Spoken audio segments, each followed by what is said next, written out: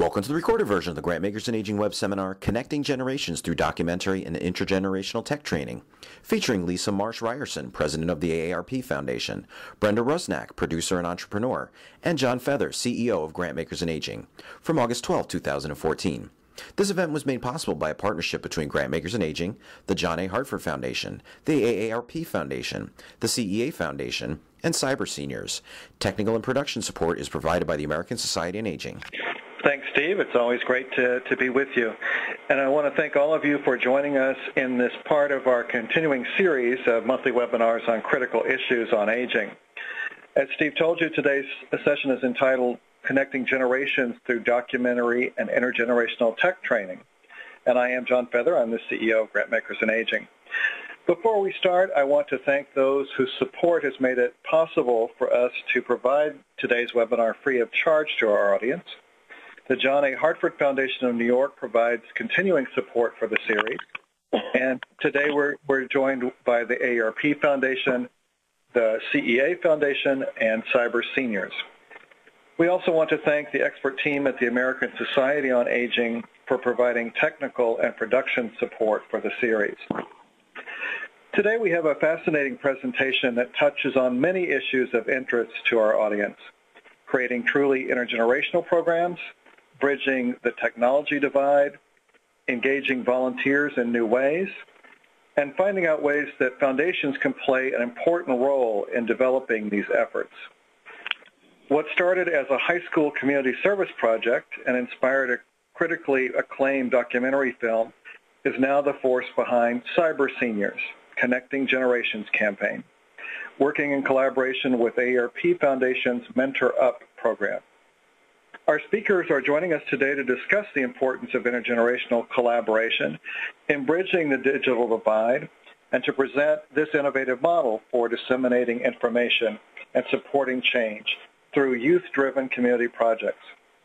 We also want to invite you to view the film trailer and learn more at, at www.cyberseniorsdocumentary.com. That's all one word, cyberseniorsdocumentary.com. We'll be referring back to this later in the program. We're pleased to have two experts today who have been deeply engaged in this process and will help us understand the opportunities and challenges.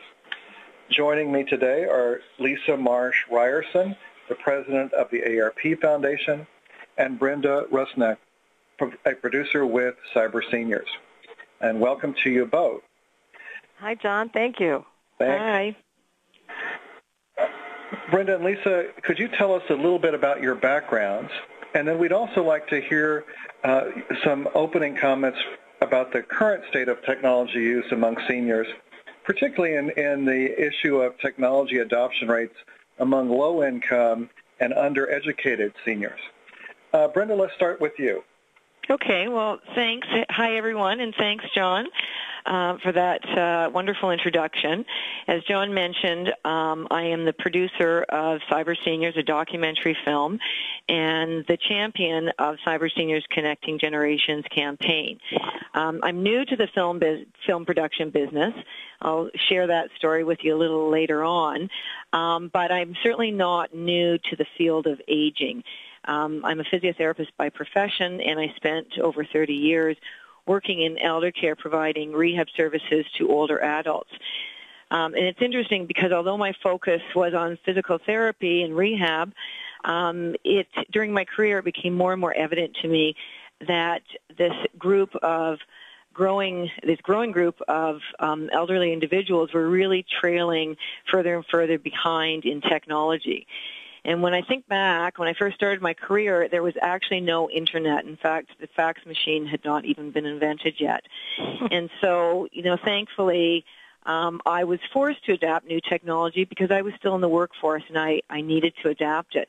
But what I witnessed was that there was this growing population of older adults that were f- f- falling further and further behind the rest of the world uh, because they didn't need to adapt technology. And, you know, there was nobody that was, um, I guess, encouraging them to do so or um, insisting that they do so. So what I saw is that, you know, as I was working to keep them physically fit and um, physically um, able to move around uh, in the world, they were losing out um, in another aspect of their life, and that was the adoption of, of technology. Um, and certainly uh, that the digital divide exists. Um, however, it is improving, which which is encouraging to see. Um, recent Pew research supports the fact that um, although the digital divide still exists, um, now just six in ten seniors are actually going online, and just under half are broadband broadband adopters, which is, is great news, but obviously we have a lot of work still to do. Um, you know, the most interesting thing about the most recent uh, Pew research that, that I find interesting is that the challenges that are identified in preventing older adults from getting online. And, you know, some of them are, are obvious, like, you know, the difficulties in learning new technologies and, and you know, it, it's difficult for anybody to learn something new. And the physical changes that, that older adults face in, you know, eyesight and hand dexterity. But the one that fascinates me the most, and I think that um, our work with um, the AARP Foundation really um, addresses is the skeptical attitudes about the benefits of technology and the relevance. Um, there's a real need for older adults to understand the relevance of getting online. And certainly that's what our experience was in developing the Cyber Seniors program and in uh, filming the documentary film. Um, so um, I hope to, during this presentation today, I hope to demonstrate to you that the work that we've been doing with AARP Foundation really does address these barriers, and, and it's these barriers that are the key to success, I think. Over to you, Lisa. Yeah. Oh, thanks, Brenda. John, I add my uh, thank you to you. Like Brenda, I'm just delighted to be here, and hello to all of my colleagues who are out there uh, across the nation on the phone lines. Happy to be talking with you today. I am new to AARP Foundation. This is my first year, but I am not new to working with young people, which is what excites me so much about our collaboration with Cyber Seniors and our topic today and the really terrific Mentor Up program that had been developed here at AARP Foundation before I came. For almost two decades, I served as a college president.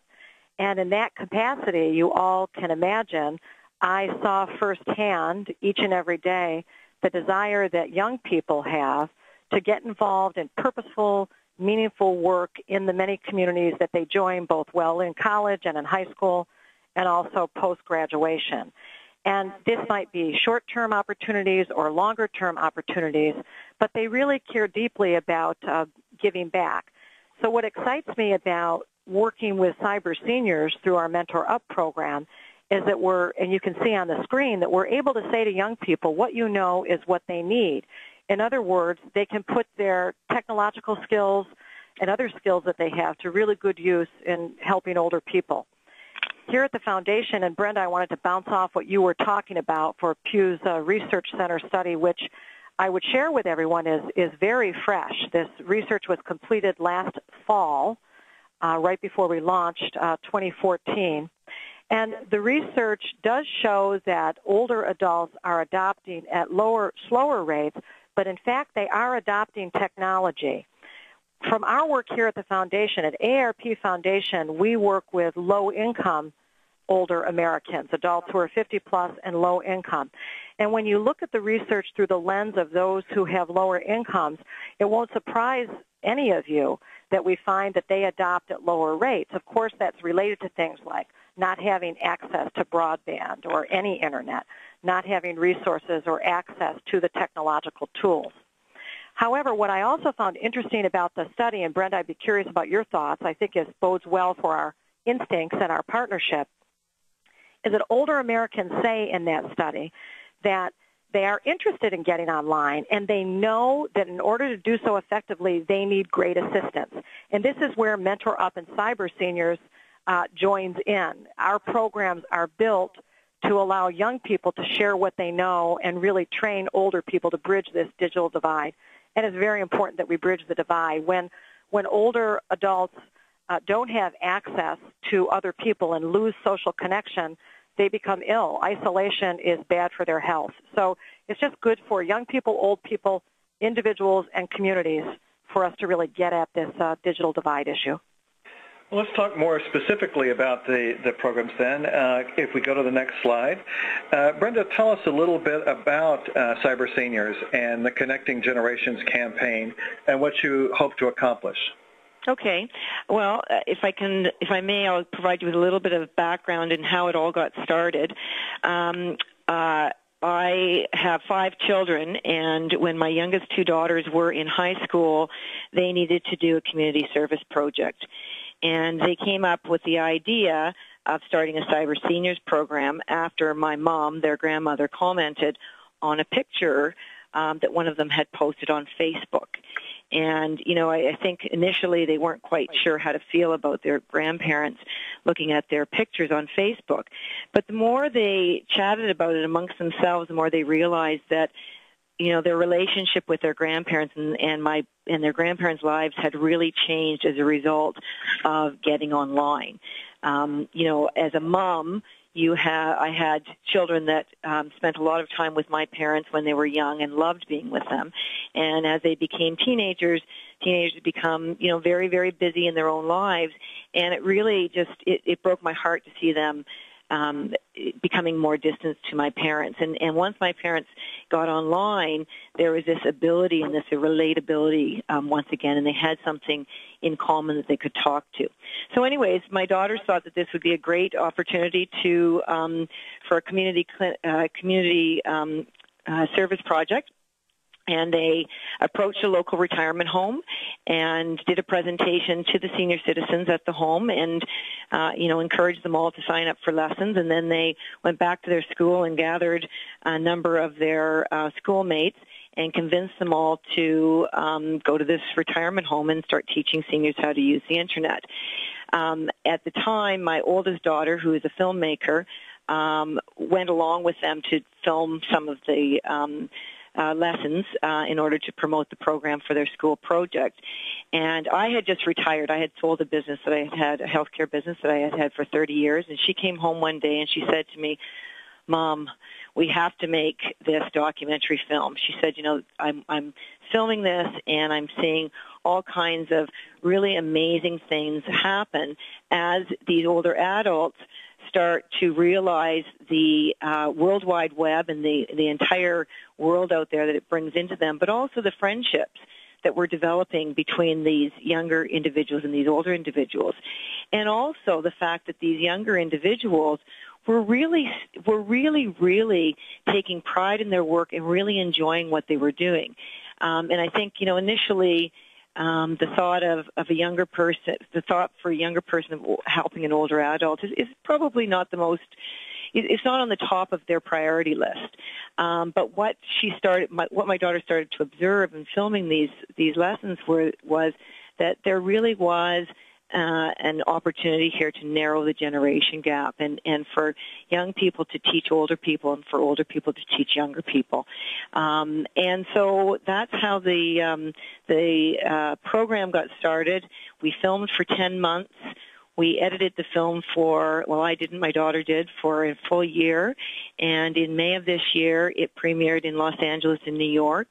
And um, since then, it has been on a um, North American-wide tour, uh, largely supported um, through organizations such as Mentor Up and AARP, who see the value in bringing together intergenerational audiences um, to discuss the issue of the digital divide and to inspire and encourage people to get involved. And what's kind of interesting is that, you know, we're not, my daughters certainly were not the first people to start um, a cyber seniors type of program. Um, if you have Google alerts, um, as I do for, you know, youth teaching seniors, um, there's a lot of, of kids out there that are doing great work around the world. Um, but what we have found is that uh, by using the film, we're able to, in fact, bring together individuals and organizations within each community and make them all aware of the good work that they're doing and um, allow them to share in their resources and work together um, to to further enhance and further narrow the digital divide. So that's really how the campaign started and, and what it's all about. Thanks so much. Uh, as we move to the next slide, uh, Lisa, AARP, of course, is a well-known uh, organization, the largest membership organization in the world, but many of us in the audience may not think of AARP and the AARP Foundation in connection with high school students. Could you tell us why Mentor Up was created and why, what's important for our uh, GIA community to know about this reverse mentoring process and intergenerational collaboration? No, absolutely, John. And again, thanks for the opportunity. You know, at AARP Foundation, as we're working, uh, you know, hard and in a, in a fast manner to be sure that we're really winning back opportunity for Americans who are older and are struggling, we are committed to bringing together all resources that can help us uh, meet our goals. And as Brenda, you said earlier, you know, although it may not be top of the list for young people to say, I'll, I'll sign on for an activity to help older people, what we have found here and what I've found in my long career working with young people is that it is at the top of their list to engage in work helping others and helping their communities. So for us, uh, John, it was, you know, knowing, recognizing that young people are a valuable resource first and foremost, that they want to give back in meaningful ways. That on some level, I guess I would say that they love their grandparents, and that's whether or not they have grandparents. That might be neighbors or other older adults, teachers. Uh, they have experience with older people adding value to their lives. So so it is, in, in many ways, a, a natural evolution to then want to give back and help the older generation. Another reason why it's important for us at AARP Foundation is that we've found that it isn't good for communities to have false divides or divisions between the generations. So as much as these experiences are good for the individuals involved, uh, reverse mentoring strengthens communities and really um, gets at any stereotypes that exist about divides between these generations. So it's very positive for communities as well. And then finally, I would add, though there are many other reasons, top of our list for developing Mentor Up is that we know and studies prove that for, for older people, uh, in particular those who have um, illness, health illnesses, or cognitive dementia, that their health is really improved when they work with young people.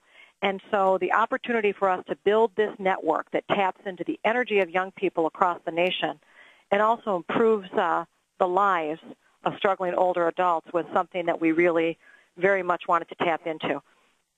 Obviously, Cyber Seniors is a great, great fit for us because it it allows us to. The story is wonderful. I encourage all of you to watch the trailer. Um, take the opportunity to see the film, but it really shows the power of generations coming together. Older people have a need. The younger volunteers in Cyber Senior have skills that they can share. And over the course of their work with older, the older adults, they realize that although there are differences as humans, we have a lot in common too. So it's really heartwarming and compelling as well. And then you know, I would remind all of you that, or tell you for the first time, that here at AARP and at the foundation, we know that our work benefits from engaging volunteers of all ages. And so we have a tradition of working with a full range of other not-for-profits and community volunteers to be sure that we're harnessing uh, the passion and the time that they want to give uh, to help older Americans. It's a it's a wonderful and inspiring story. Uh, as we go to the the next uh, slide, uh, Brenda, we've heard of the the term uh, reverse mentoring, and it'd be great for you to help us better understand that concept. But you, you've laid out the need for digital literacy, the value of reverse mentoring, and cyber seniors as a valuable program. How are you sharing the message and the resources available with young people and older adults?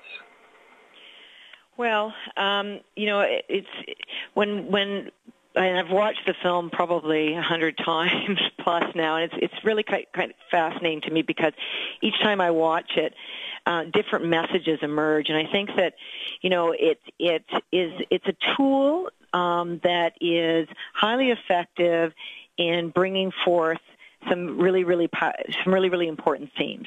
And you know, the obvious ones are things like lifelong learning. That's that you know that's a given. You're never too old to learn something new.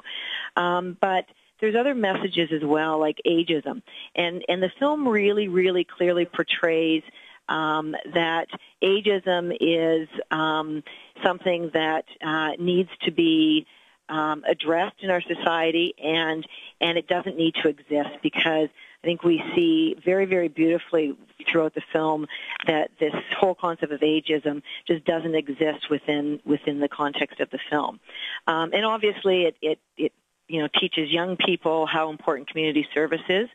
But, you know, I think at the heart of the film, the most important message that really comes clear is this need for human connection and this real need to um, bridge the generation gap and to keep people connected, and technology can do that. Um, and obviously, reverse mentoring is the key to that. So what we've been witnessing as people watch the film is that for older adults, it really addresses this skepticism about what can what can can, can t- technology to do for me.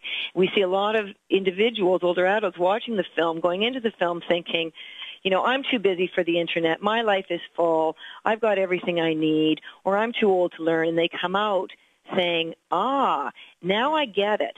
Now I see that if I learn new technology, it will bring me closer to the people that are most important in my life.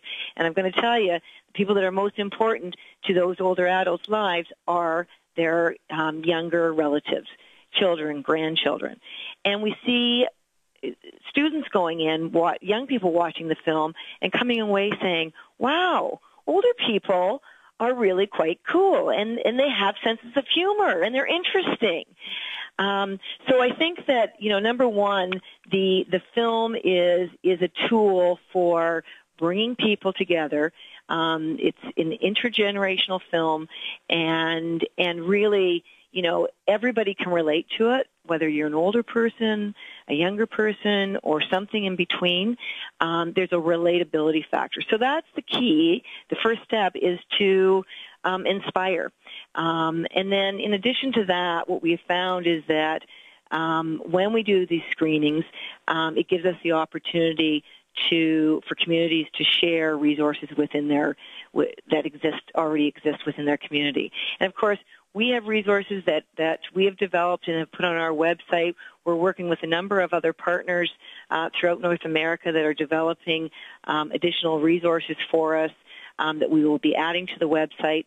Um, and really, we want the film to, you know, bring people's attention to the fact that there is this hub of information um, to inspire people and to, you know, strike when the iron's hot, get people um, inspired by, by watching it, um, and then taking action and getting involved.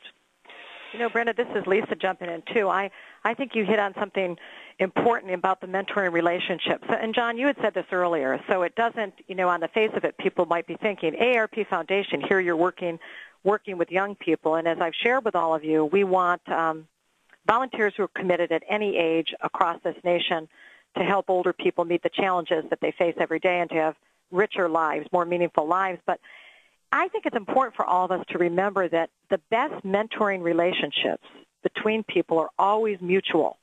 And so what I enjoy so much about your work, Brenda, and what we're doing with Mentor Up across all of our areas here at the foundation is it provides a meaningful outlet for young people to have their sense of empowerment. They know things that others need to know. And so it's and then it's helpful for older people, but they also, in the mentoring experience, are learning so much about life from the older people with whom they're interacting. There's learning that goes both ways. It's just uh, powerful and inspirational to see it happening. Mm-hmm. Well, before we go uh, to our next our next uh, slide and our next question, uh, let me remind the audience that at any point you can start entering your questions into uh, into the box you see on the right hand of your screen under questions. If you open that box, you can start entering them now. Uh, we will be uh, addressing your questions at the end of the session. So if you uh, go ahead and write your questions then, we'll uh, go through them as we get towards the end of the, the presentation here. So as we go to the next slide, uh, this is a, so it's a, obviously a wonderful program and very much an inspiration to those who participate. Uh, the question always comes up, how do you sustain programs like this? Uh, that's always a huge challenge to uh, efforts like this, which are volunteer-driven. Um, and Lisa, let's start with you about that issue. Great, thanks. You know, for us, sustainability is key. And, uh, you know, we've talked about this a lot on the call. It's important for us that, you know, in many ways, this reverse or intergenerational mentoring for us really is a movement. And we see it taking hold both as we bridge the digital divide, but I think it can be really helpful in other areas as well as we enrich the lives of older people. So for me, what's important is that uh, sharing with all of you that we are committed here at AARP Foundation to developing strong strategic collaborations with other organizations. So we are open to and wanting to share what we've learned, our toolboxes, the resource guides that we've developed in order to encourage other organizations to get involved in intergenerational mentoring to help uh, their communities uh, be strong. We're also, of course, uh, working with a number already of youth-serving organizations such as 4-H and DoSomething.org. Um, but again, we would welcome feedback from those on the phone and uh, are always open for new suggestions about dynamic collaborations in this field. And, you know, I also encourage organizations as they're looking at how they utilize their resources to to uh, give funding for intergenerational mentoring because we have found uh, through some of the tools we've used, which are very affordable Kickstarter grants, you know, helping uh, organizations for minimal amounts of money allow reverse mentoring to take root. So resources should be applied to this field. Brenda? Yeah, yeah. I, I think that Lisa's absolutely right. I think that there's, you know, there's two levels. I mean, first of all, there's the grassroots level, and and you know that requires um, resources that are readily available in any community. You know, people power. Um, energy, and certainly, um, you know, we have uh, we've partnered with the FCCLA that represents uh, 200,000 high school students, and that's that's a lot of manpower for programs like Mentor Up and, and Cyber Seniors because those those are the the teachers that you know are required for programs such as these uh, to be successful. So um, the other thing that we've we've um, realized is that there are um, communities within each. I mean, uh, organizations within within each community that are interested and willing to offer up resources. Um, one example I can give you is um, there was a uh, um, a, a, similar a, program such as Mentor Up. The, the students were not teaching the, the seniors technology. Um, in a retirement home in British Columbia, Canada, uh, but they were mentoring the seniors. And Best Buy, um, Geek Squad, uh, read an article in the newspaper about it and had recently seen our trailer and were familiar with the Cyber Seniors program. And they got so excited over this that they actually went into the home and donated um, equipment so that the mentoring students could then mentor the, st- the seniors in technology. So it really, I think that you know, once you get people um, interested and excited and inspired by the concept, a lot can take place. However, you know, at some point there are um, individuals that um, that require additional funding to develop the infrastructure. Um, you know, there is obviously additional funding that's required to coordinate programs such as this. So I think that that's the other um, piece to the equation, and you know, um, we are always seeking out partners for that fit into both silos. Well, great. And, and just a quick question. Uh, tell us what FCCLA means. Um, it stands for Family Career Counseling. Um, I'm sorry, but I'm going to have to do a quick. um, it's it's an organization um, that uh, it stands for Family Career and Community Leaders of America, and it's a it's a fabulous organization of, as I said, 200,000 uh, teenagers and uh, volunteer um, uh, teachers and um, community workers who get these kids involved in community service, and that's that is their goal is to become involved um, doing volunteer work in the communities that they um, live and work in uh, to better their communities and, and to um, really support um, the family dynamic. So it's a great fit for us. um, because number one, family is important to them, and number two, um, volunteerism is important to them. John, if I could jump in again, this is Lisa. I think Brenda, you've raised uh, so so many important points, but I want to underscore uh, also what I said earlier that I think one a really important way to build sustainable programs is through strategic partnerships. That it is it allows us across the nation to work with organizations that will have fresh ideas. It, it allows us, in particular, when we think about um, the mentoring piece, to be sure that we have relationships across the nation in a variety of communities so that we're looking at our programming a, through the lens of cultural relevance as well, which will be important for us as we spread the message. You know, in addition to working with cyber seniors here at AARP, there's a really powerful program called TECH, which is not, uh, it hasn't built in yet um, the longer term uh, work that your cyber seniors teens are doing, Brenda, and, and uh, some of our work. But we see at our larger member events and in communities the power of young people coming in for an afternoon or a day and just teaching older people how to use their smartphone and then the dialogue that entails or how to work with a tablet. So I share that to say I am absolutely convinced that spending resources on bridging the digital divide by using the knowledge and power of young people is really important for our nation.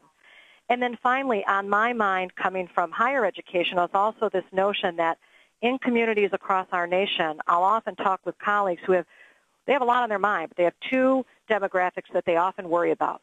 What will happen to the young people in our community, and what will we do as our community ages? And I think that the work that, that Brenda, that you're doing and that we're doing here through Mentor Up at the Foundation is really helping to address both.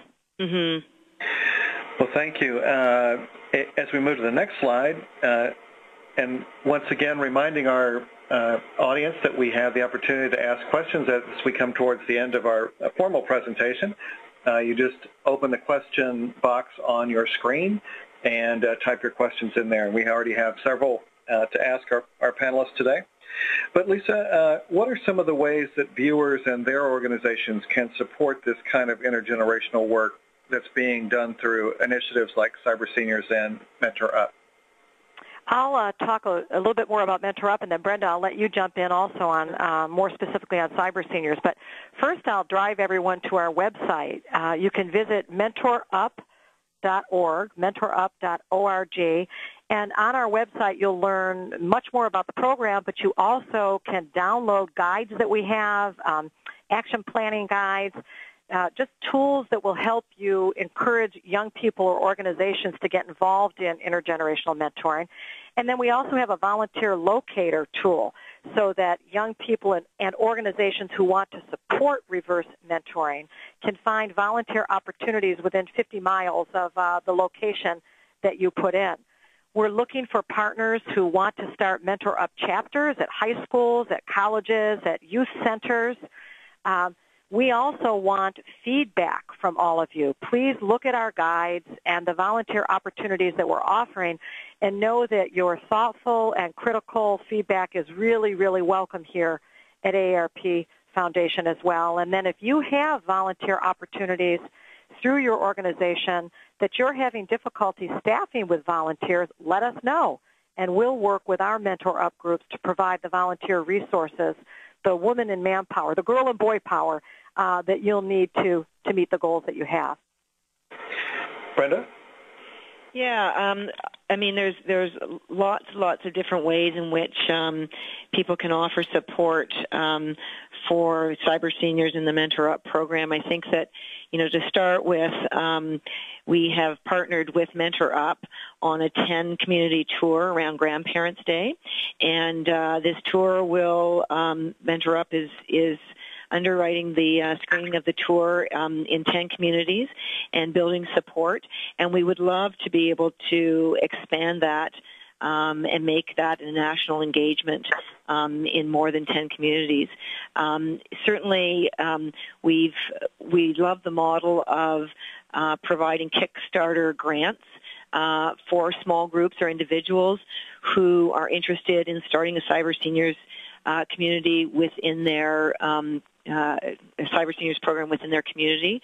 Um, again, you know, it's it's not a lot of money, but there is um, there is a, an expense associated with um, with printing and uh, presenting. You know, time spent going and, and educating seniors on the program. Um, so a thousand dollar Kickstarter grant can go uh, can make a huge difference in a community. Um, we are also um, looking at uh, launching a couple of contests throughout the year. We know that young people um, love contests. They respond to prizes, um, and we all uh, do. one of exactly one of the contests that that we will be launching is a video uh, contest that actually took place within the filming of the um, documentary. Um, we had teams of seniors and uh, young people team up um, to showcase the wisdom, the humor, the skills of the senior. And so the senior became the star, and the young people became the producers of the film. And it was a great, great project. Um, really, really um, brought you know the generations together, and really uh, pro- provided us with an opportunity to for older people to have more of a voice on the internet. Um, we're also developing an educational package and um, with a discussion guide on a, number of different themes that, that come out in the film. And, um, you know, unfortunately not everybody um, has the resources to be able to access that, um, that important um, uh, uh, document and film. And so um, we're looking for sponsors for that or, or groups to, to subsidize that. And then just, you know, volunteers, partners, you know, people that that will um, help us to get the word out, uh, provide social media exposure, provide um, you know more traditional media, um, any way that uh, individuals or organizations can help uh, to either get the word out or build sustainable programs. Um, you know, there's a, there's a lot of opportunities. Well, great. Uh, as we come to our last slide before we move to our, our questions, uh, once again, we're looking for your questions, but we have we have quite a number. So I, I think at this point I'd like to move uh, towards uh, going ahead and starting with those questions. And uh, the first couple I have to do with the film itself. So Brenda, I'll, I'll pass these to you. So the questions are, um, how do you find out about the availability of viewing the film and and uh, getting access to it? And also, have you developed uh, things like uh, discussion guides and so forth for both older people and younger people to uh, help a host or whoever is, is running the film to be able to generate a discussion? Um, yeah, so the film um, will be um, will will likely be available on our website um, sometime in September. The first version that will be coming out will be our educational package, which will include um, a 74-minute version of the film and a 52-minute version of the film. 52 minutes tends to be a little bit better, works better for classrooms, and with that educational package, there will in fact be a study and activity guide and uh, we're just putting the final touches on that now. And it really is going to be a great, um, a, a, a great document because um, what we've done is we've um, identified different themes and um, who those themes are most appropriate for. So our educational version obviously can be used by schools anywhere from you know K to 12 universities, but it can also be used um, within institutions um, that support um, aging services. So, um, you know, retirement home, elder care, those sorts of facilities um, that uh, you know want to watch the film and then want to have a discussion after. There's the guide will lead those discussions and also make suggestions for activities, which you know, of course, will further help um, the campaign, but because many of the activities involve um, just you know asking people to get out there, start cyber seniors programs, join a cyber seniors program, um, you know, get involved in some way. Okay. And Brenda and, and I have collaborated, John. This is Lisa. Brenda and I uh, Mentor Up, and Brenda and her team have collaborated on shorter discussion guides that will go along with the movie screenings uh, that we're collaborating with uh, AARP state offices in these 10 cities as well. So okay. we've been really thoughtful about follow-up to the screenings. Okay. I, I, wanted to make sure that we move to the next slide. So it, this gives the uh, web addresses for both uh, organizations so that we make sure that people have that. Um, Lisa, question for you. Uh, obviously, you, you represent a large organization that has national reach. Um, do you have other suggestions about how uh, local funders might be involved in this who, who may have uh, you know, much fewer resources or uh, the Kickstarter campaign is a wonderful example, but are there other ideas that you might have uh, to help them? Yes, absolutely. So I'll go back to, Judd, first I'll start with something I shared earlier about building uh, sustainable programs, and that's you know, for organizations across the nation, think about um, encouraging the startup of a Mentor Up chapter at a local high school, a local college, you know, assist with that, uh, and or youth community center. Um, and then in addition to um, the work with uh, the digital divide, there's always an opportunity to get involved in other other activities too, such as food drives, uh, really engaging youth directly in community. Okay. Okay. Uh, here's a question. I, I, can probably go to both of you because you've both worked with um, younger people. And do you provide any training to the, the teens or college students that you work for? Uh, and the person says, I have found uh, many younger folks have little patience with actually teaching how to do this as opposed to just doing it for the older person. I don't know who would yeah. like to comment on that. I'm happy to jump in first, Brenda, and then okay. if, if you yep. want to jump in as well. But okay. the, our training guide, and Brenda, you can give more details. But we start right away in our cyber seniors uh, in the cyber seniors training guide, and certainly for Mentor Up chapters that we're you know encouraging to develop and those that we support we provide specific training that allows young people to have experiences so that they go so that they develop more patience um, and grow their understanding of what it is to be a mentor, a friend of an older adult. Yeah, yeah. I think the training is. I mean, it's it's really important because um, just even even things that may be obvious to you know an adult about um, uh, you know teaching. And the the one thing that so there, there's the there's the issues of you know how to how to be aware of physical limitations that an older adult has the limitations that they have for you know remembering and retaining knowledge. And those are all things that um, young people typically don't auto, naturally think about. So I think it's you know the training is is an important part, um, and it's a great part for them because they start to realize that. Um, you know, teaching is about communication and transferring skills. Um, the, there's a scene in the film um, at the beginning that really, really beautifully demonstrates the fact that, you know, um, when you are teaching somebody, you have to use common terminology that they will understand. Um, and we recently did a leadership conference for the FCCLA, and it was it was interesting because my daughters did the presentation, and one of the things that they did was they invited the students up from the audience to answer seemingly simple questions that a senior citizen might ask them about about the internet. And you know, it just it really demonstrated um, how difficult that skill is. So I think it's a great skill for young people to learn um, because, you know, we are dealing with an aging tsunami. And so many of these young people today are going to be working in elder care. In the future, they're going to be working with older adults. So I think it's, you know, aside from the technology, they need to learn um, how to become teachers to an older generation. So yeah. training is very, very important. You know, we're Mentor Up is uh, we're really proud to say that we're also in part led by a wonderful uh, national advisory council of young people, and we work uh, we offer John age sensitivity trainings.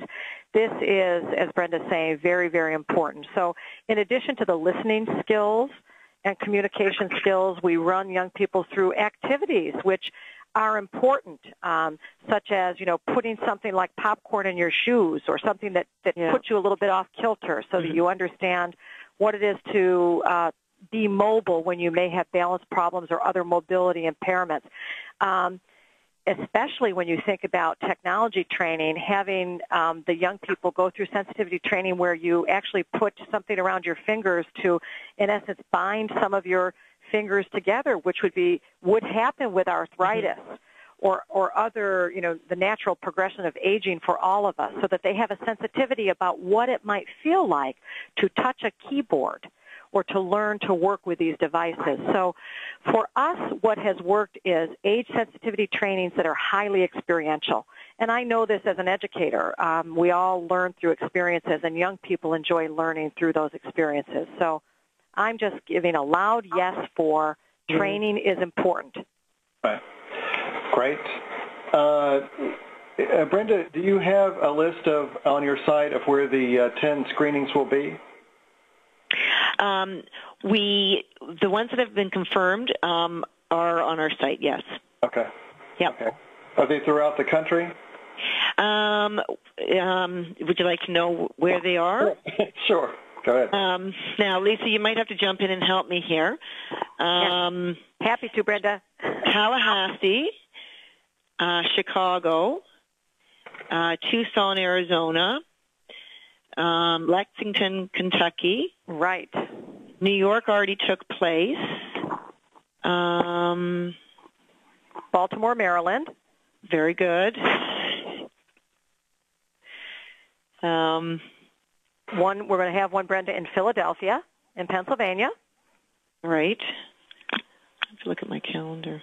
I don't have the website in front of me. And uh, John, Fort Collins, Colorado, as well. So okay, I think right. between us, Brenda, we've covered all ten. Okay, good work. See, that's where uh, you know the power of connections and partnering, right, everyone? exactly. it does. It, it, it takes those partnerships. It does indeed. Uh, let's see. To, to, return to the question about uh, training uh, both young people and, and also older people, uh, is there is there a selection process for the older people that participate in the in the uh, in the process as well? Uh, obviously, some people have more difficulty than others. Some are more conversant with some technology to some degree. Uh, how, how, do you, how do you make sure that that connection works as well as it can? Well, maybe I'll start by saying that sure. you know when when we started the Cyber Seniors program, our goal for the program was um, to get older adults independent using the internet. So we had a fairly you know narrow focus, right? It wasn't to teach people word processing. It wasn't to um, you know uh, work with individuals that weren't going to be independent. It was it was really specific. However, in saying that, we are now um, working with a number of different um, levels of uh, senior care organizations. And you know, after after filming and watching hours and hours of these older adults learn to use the computer, and when I say older adults, I mean our film really, I mean it focused on, you know, really really quite elderly people. The average age I think was 90. Um, so you know, I think that obviously there's there's a need a lot across the spectrum, but it changes. So you know, for a 65 year old, that need is very very different than from a 90 year old. But I've come to the conclusion that even if somebody's never going to be independent um, on the internet, it's still a very important um, part of uh, of their ability to be able to connect with other people. So even if they can't, you know, get get Skype up on their own, um, it still offers them the the opportunity to expand their physical and social worlds. And so, um, you know, my thinking is is that you know it really should be available to everyone, regardless of whether they're going to be able to ever do it independently or not. Lisa.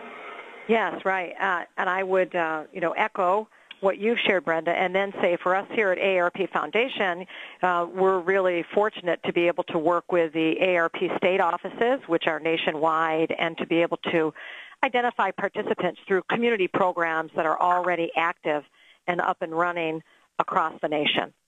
So, um, and then we're really interested in developing new partnerships, as I've said earlier, with organizations who would like to uh, get into reverse mentoring. Well, thanks, thank you so much. I want to uh, turn, as we move from the questions, to uh, asking each of you for your final comments. But I want to uh, also say that one of our very alert uh, uh, members on the webinar has, has let me know that uh, there is, in fact, one more that you missed. There's a scheduled screening in mid-September in Ithaca, New York at Ithaca College. Well, and this is a problem that I forgot that, John. I'm sitting here laughing because I would want you all to know that I was the college president for almost 20 years at Wells College, which is right up the road from Ithaca College. So I thank you to whoever identified that. It's a little bit like you, you know, you forget what's in your own backyard sometimes. So I'm very happy to give a shout out to Ithaca College. Uh, Great gerontology program there. They have a wonderful program, and uh, we certainly uh, work with them here. So that is that's just terrific.